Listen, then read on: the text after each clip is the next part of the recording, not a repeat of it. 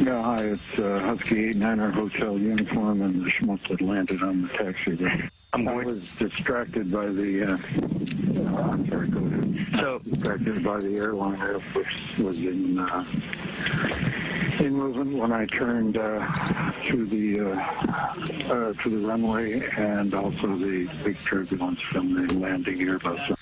Well, new control tower audio after the February 13th incident reveal Ford realized his mistake. 74 now, he was supposed to land his single-engine aircraft on a runway that runs parallel to the taxiway at John Wayne Airport, but instead he landed on the taxiway flying over the slow-moving American Airlines 737 in the process. National Transportation Safety Board is investigating.